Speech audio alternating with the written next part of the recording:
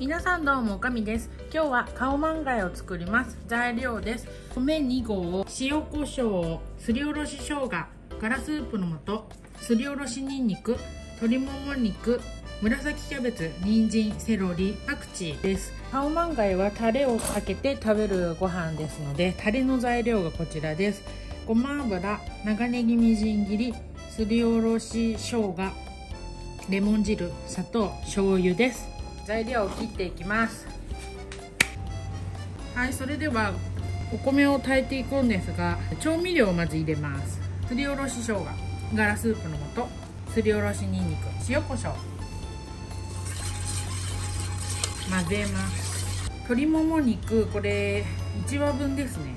あ 1, 1羽じゃない。1枚分。入れます。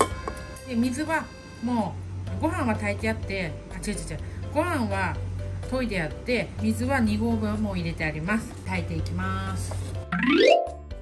それではチキンライスが炊けましたので開けます。おお美味しそう。はいそれではご飯を盛り付けました。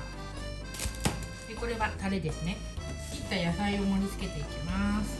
パクチーです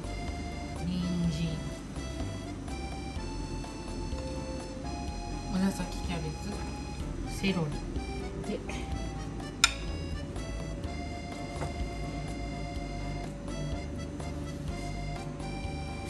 でいただきます。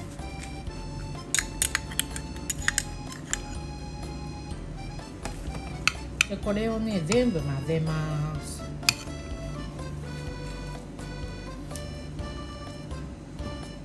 お焦げとかできてたんですよ。すごい美味しそう。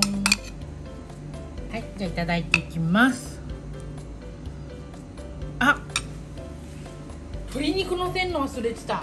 鶏肉のせなんかノーマンガイじゃないんじゃないですかね。え変だ切んなくても大丈夫そう。そのままのせます。はい鶏肉をのせました。もう一回ちょっとタレをかけます。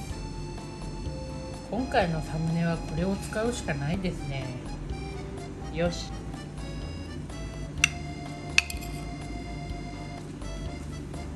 うん。美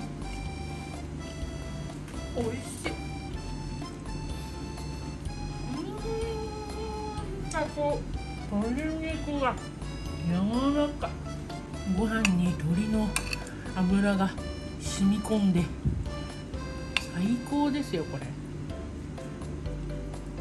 あとこのタレのねタレにねレモン入レモン汁入ってるじゃないですか。それもねあっさりしていいですね。私カオマンガイ大好きなんで次回はタイ米とナンプラーも使ってやってみたいと思います。鶏肉も盛り付けの時に忘れないようにね。私ドジだから。それでは皆さん次の動画もまた見てくださいね。バイバーイ。